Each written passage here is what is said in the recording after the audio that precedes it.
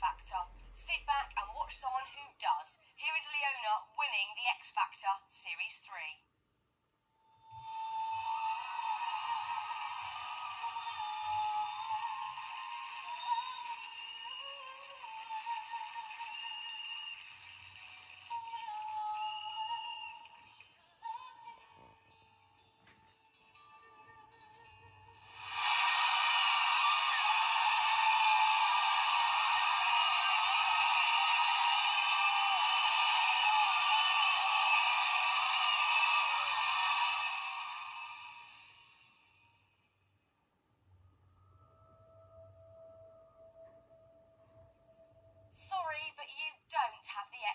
Factor. Sit back and watch someone who does. Here's Shane winning the X Factor Series 2.